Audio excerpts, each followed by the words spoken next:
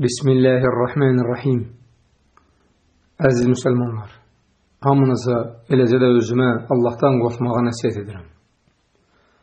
Bugünkü dərsimizdə yenə sual və cavabdan ibarətdir. Sual belədir. Allahdan qeyrisindən sığınacaq diləmək olarmı?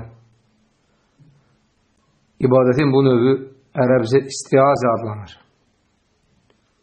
Sualın cavabı belədir ki, istiazə ibadətdir və onu Allahdan qeyrisinə yönətmək caiz deyil. Bu xüsusda Quran-ı kərimdə belə buyurulur. وَإِمَّا يَنْزَغَنَّكَ مِنَ الشَّيْطَانِ نَزْغٌ فَاسْتَعِذْ بِاللَّهِ إِنَّهُ سَمِيعٌ عَلِيمٌ Əgər şeytandan sənə bir vəsvəsə gəlsə, Allaha sığın. Quranda həmsinin istihazənin ibadət olmasına dair iki möhtəşəm surə də var. Bunlar Əl-Fələq və Ən-Nas surələridir. Hər ikisində uca Allah öz Rasuluna sallallahu aleyhi və səlləmə və onun ardıcılarına hər bir məxluqun şərindən qorunmaq üçün yalnız Allaha sığınmağı buyurur. Rəvayət edilir ki, Uqbə ibn Amir radiyallahu anh demişdir. Rasulullah sallallahu aleyhi və səlləm mənə fərz namazını bitirdikdən sonra Əl-İxlas, Əl-Fələq və Ən-Nas surələrini oxumağa əmr etmişdir. Bu hədisdən aydın başa düşülür ki, hər bir müsəlman gündəlik olaraq ən azı 5 kərə məxluqatın şərindən Allaha sığınmalıdır. Həmçinin bu ümmətə səhər və axşam çağı yalnız Allaha sığınmaq da əmr edilmişdir. Yenə hədislərin birində rəvayət edilir ki, Abdullah ibn Xubeyb radiyallahu anh demişdir.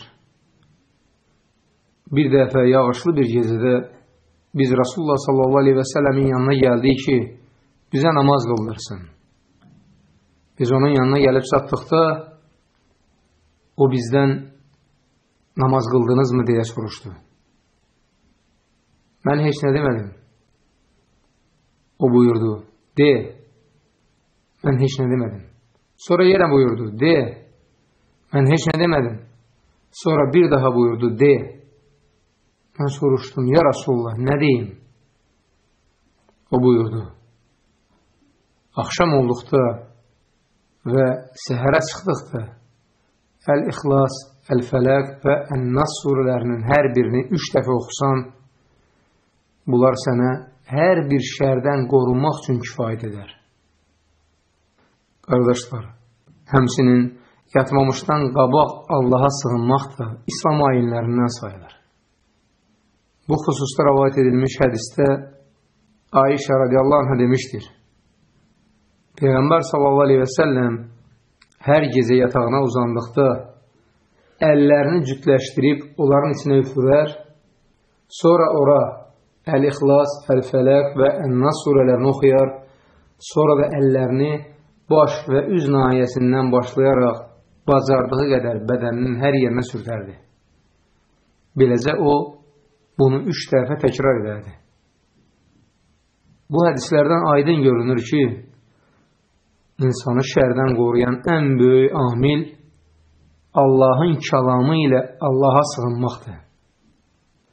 Allahın kəlamı da ən kamil kəlam sayılır. Hədislərin birində Peyğəmbər sallallahu aleyhi və səlləm demişdir, hər kim mənzil başına çatdıqda Əudu bi kelimətilləhi təmməti min şərri mə xaləq yaratdıqlarının şərindən Allahın tam kəlmələrinə sığınıram deyərsə, bu yerdən çıxıb gedənədək ona heç bir zərər toxunmaz.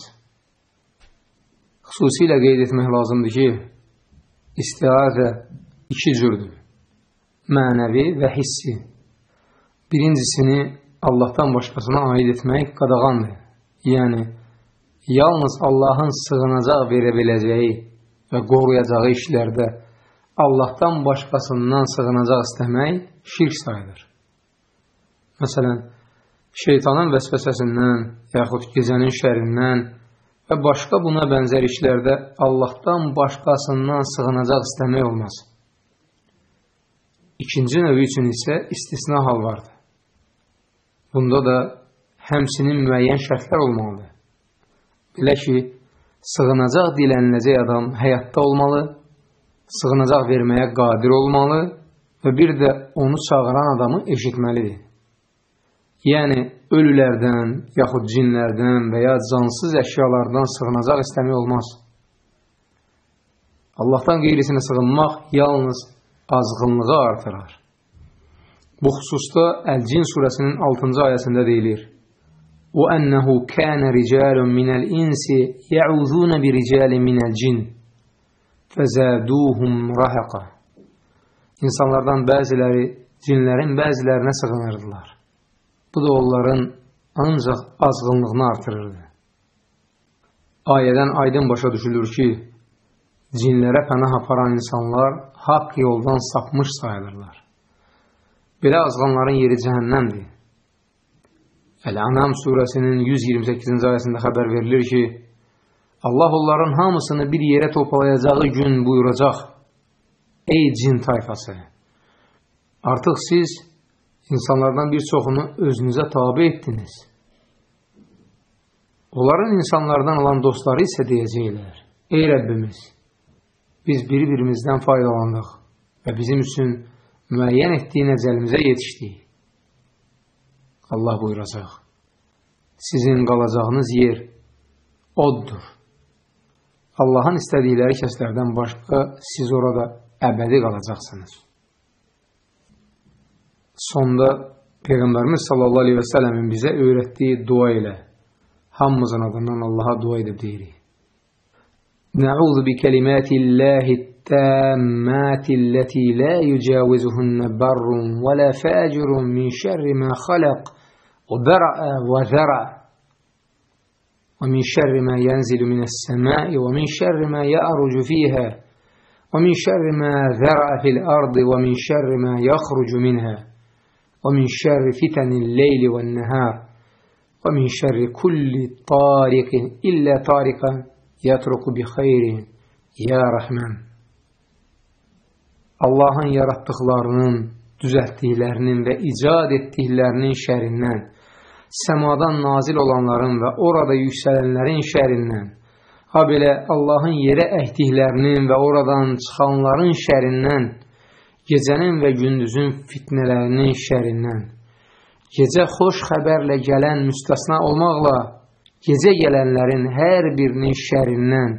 həm itaatkarın, həm də günahkarın möhtac olduğu Allahın tam kəlmələrinə sığınırıq. Ey Rəhman! Subhanək Allahumma və bihamdik, əşhədu ən la iləhə illə ənd, əstəğfiruka və atubu iləyik.